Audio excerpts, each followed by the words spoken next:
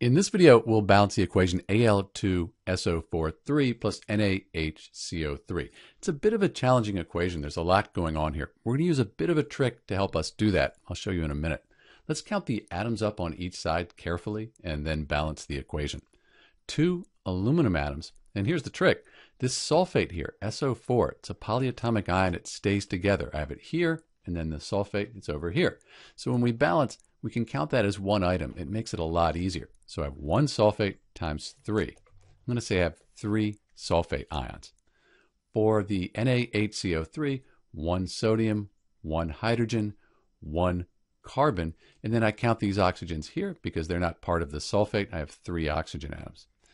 Okay, product side, one aluminum, just one sulfate ion, two sodiums, three times one, so three hydrogen atoms. For the carbons, I have just one.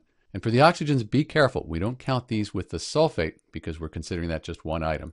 We have three times one, that's three oxygen atoms, plus two oxygen atoms here. We have a total of five.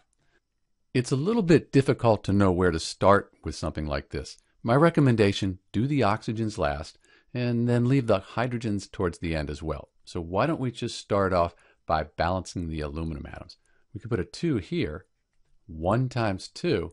So the aluminum atoms are balanced. Now we've got to figure all this out. So we need to update both the oxygen and the hydrogen. So let's do the oxygen first. Get rid of this. We have 3 times the 1, 3 oxygens times the 2. So we have 6 oxygens plus we have the 2 here. So now we have 8. For the hydrogens, we have 3 times 1, that's 3 times the 2. That'll give us 6. All right. Let's do the sulfate ions next. I have three of them here and just one here. So I'm going to put a 3 in front of the Na2SO4. When I do that, I have 2 times 3. I have 6 sodium atoms. And then I have the 1 sulfate times 3. That'll give me 3 of those.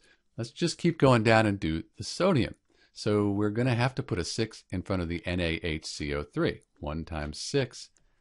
That'll give us 6. And then for our hydrogens, 1 times 6. That gives us 6. Those are balanced too. For the carbon, 1 times 6. 6 carbons. And then for the oxygens, 3 times 6 is 18. But we're getting close.